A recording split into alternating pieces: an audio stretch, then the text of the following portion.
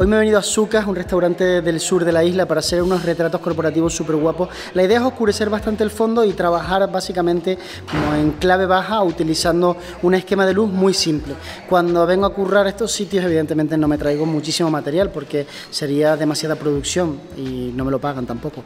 Entonces lo que hago es traer pues la mínima expresión, que en este caso es el Octa de Profoto con el Profoto B10X Plus y este trípode de aquí, que es el ligerito, que es el de fibra de carbono, que es genial.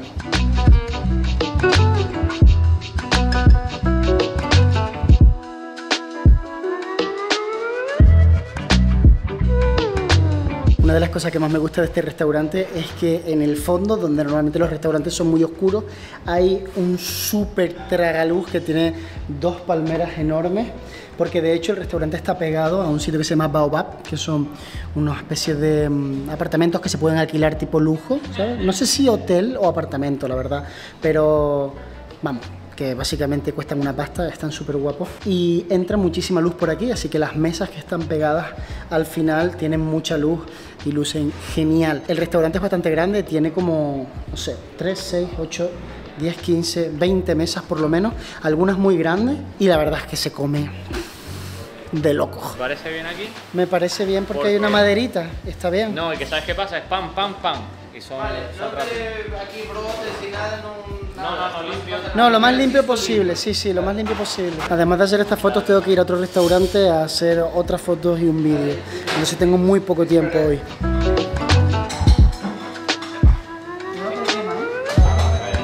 Riesgos laborales. No,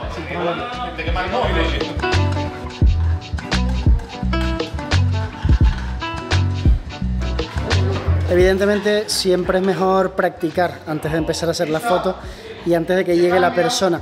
Pero yo normalmente lo que hago es traer de casa la idea como muy masticada, como que tengo muy claro lo que busco. Entonces cuando llego lo único que tengo que hacer es conseguirlo. Seguro que me has visto muchas veces usando el Octa 3 y es que considero que es a día de hoy el modificador que mejor se ajusta a mis necesidades. Puedo utilizarlo para hacer fotografía gastronómica, para hacer retrato corporativo y gracias al grid consigo un look muy bonito en mis fotografías.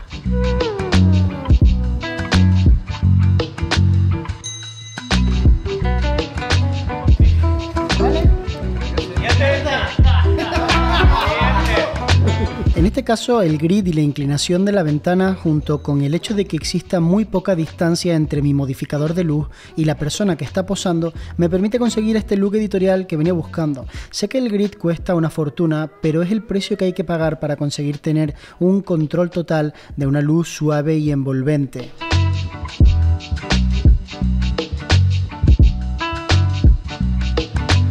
Ahora mismo son las 5 y 33 tengo que llegar a las 6 al otro restaurante. Nos lo llevamos así mismo, ¿no? En el coche. Vamos a meter la cámara aquí. Hay que comprar pilas para el mando. ¡Hasta luego! ¡Chao!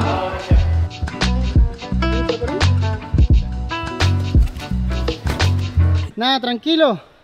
Vete a gusto con el Camaro. Si hubiera hecho este shooting hace 5 años, creo que me hubiera estresado una locura porque no hay nada peor que no conocer la parte técnica, la parte que necesitas para poder hacer lo que traes en mente. O sea, yo tenía claro cómo tenía que ir la luz y después contárselo a Carlos ya es otra historia, pero tener claro cómo va la luz es la clave. ¿Sabes dónde se aprende súper rápido y fácil todo lo relacionado con el flash?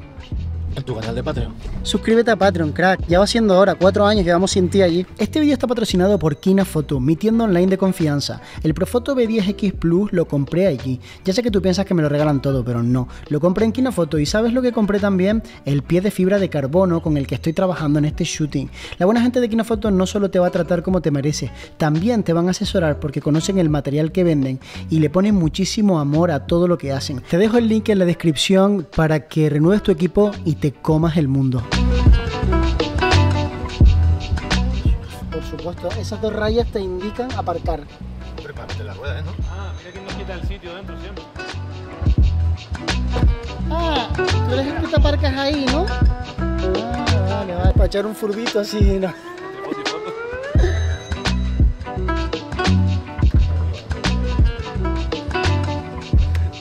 ¿Cómo estás?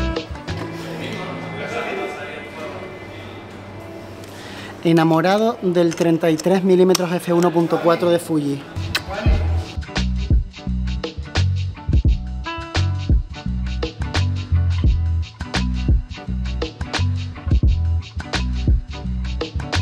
Si no te puedes comprar un macro porque te gastaste todo el dinero en tu último flash y en mi suscripción de Patreon, siempre puedes comprar un anillo de extensión. En Fuji los venden, tienen dos modelos MSX 11, MSX 16 y no te vas a creer los resultados que te da. Evidentemente la nitidez de la imagen final no va a ser la nitidez de un macro, pero fíjate el detalle que eres capaz de sacar utilizando un 35 mm 1.4 y un anillo de extensión.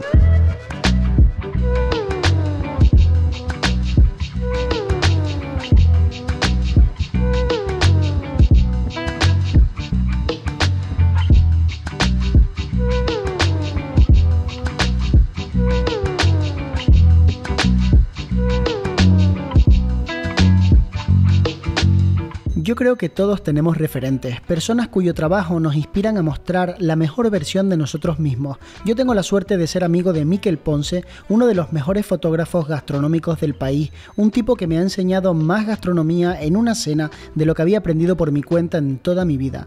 Te animo a que visites su perfil porque si te gusta la fotografía de comida, el trabajo de Miquel te va sencillamente a fascinar.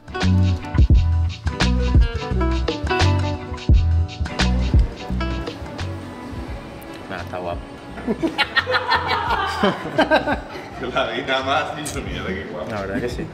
He sobrevivido a este día frenético y empieza a llegar gente al restaurante, así que vamos a coger las cosas y marcharnos. Si te gusta la fotografía gastronómica, si te apetece aprender a hacer fotografía de comida, fotografía de productos, retratos, utilizando flash, anímate y vente a Patreon. Te dejo el link en la descripción.